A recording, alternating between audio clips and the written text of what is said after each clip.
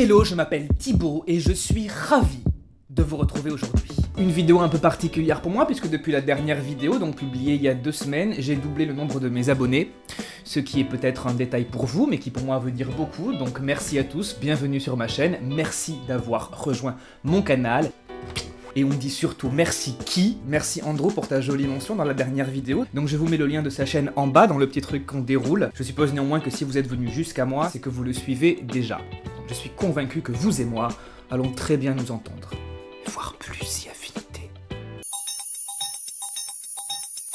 Aujourd'hui, donc quatrième numéro de la série Figures de style, nous allons parler de l'ellipse en rhétorique. Je vais revenir en détail sur sa définition et sur euh, sa fonction principale dans une phrase. Et j'ai décidé aujourd'hui de prendre une phrase un peu tendue, mais en même temps qui a fait l'actualité ces derniers jours. Je sais pas si vous avez suivi.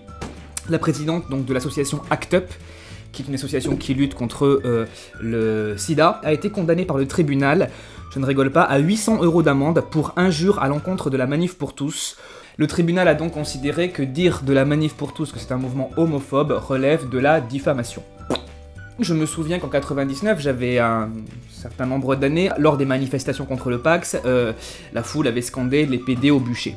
Notre ellipse on y reviendra tout à l'heure. Et en 2013-2014, je me suis dit peut-être qu'on a affaire à une homophobie un peu plus larvée, un peu plus discrète, en mode genre euh, non mais attends mais je suis pas du tout homophobe, euh, moi aussi ça m'arrive d'aller chez le coiffeur.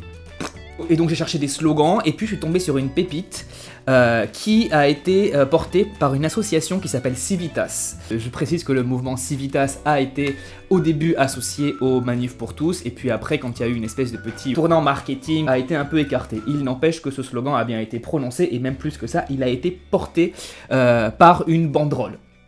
Donc derrière ils sont 10, hein, mais néanmoins les mots ont quand même un sens. La France la France a besoin d'enfants, pas d'homosexuels. Et donc je vous propose une petite analyse du slogan qui, euh, faut bien le dire, va servir à quelque chose.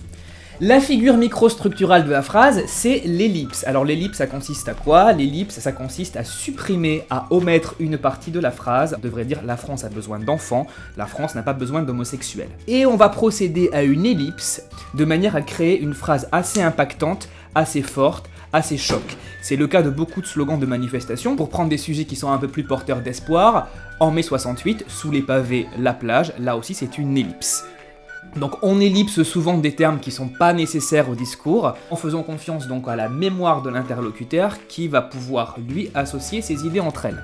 Pourquoi donc utiliser l'ellipse? On a vu que ça donnait un caractère abrupt à la phrase, mais ce n'est pas l'unique raison. C'est que finalement, en omettant un verbe, on va lui conférer plus de sens. D'ailleurs ici ce n'est pas innocent, le verbe avoir besoin, voilà, fait référence à une vieille rengaine euh, de l'extrême droite, une natalité très forte pour s'opposer à la décadence, aux invasions, tout ce qui fait que chaque chose qui arrive représente potentiellement un danger. On retrouve cette idée de natalité dans le slogan donc de l'État français en 1940, travail, famille, patrie. D'ailleurs on retrouve aussi euh, l'idée de la nation hein, dans ce slogan.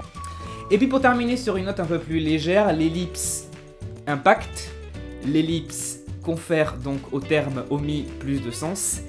Et enfin, l'ellipse permet un gain de place. Il y a fort à parier que trois termes de plus, ce qui rallongerait la banderole de 2 mètres, aurait quand même eu du mal à être porté par les trois pelés et quatre tondus qui se battent en duel. Donc tout le monde est content. Je voulais vous dire deux trucs. La semaine prochaine, ou dans deux semaines, je sais pas trop comment je vais m'organiser parce que du coup ça me prend quand même pas mal de temps. Je vais lancer une pastille sur euh, YouTube, un programme sur YouTube. Je vais imaginer euh, en costume ce que ce qu'aurait donné un Louis XIV youtubeur, une Cléopâtre youtubeuse. Voilà, ça c'est une série qui me tient à cœur. Ce sera un peu plus drôle que, les figures de style. Je continue les Thibaut t'explique. Là j'ai pas eu trop eu d'inspiration, euh, mais c'est en train de revenir un peu. N'hésitez pas à liker la vidéo et n'hésitez pas surtout à me faire des commentaires. Je veux des idées de support que je pourrais analyser. Ça peut être un mode d'emploi d'un désodorisant pour chiottes, ça peut être une chanson de Maître Gims, je vous en supplie. N'hésitez pas à dire ce que vous avez pensé de la vidéo. Et encore une fois, merci d'avoir rejoint ma chaîne. N'oubliez pas de vous abonner si ça n'a toujours pas été fait. Je vous embrasse très fort, je vous souhaite une belle semaine. Prenez soin de vous.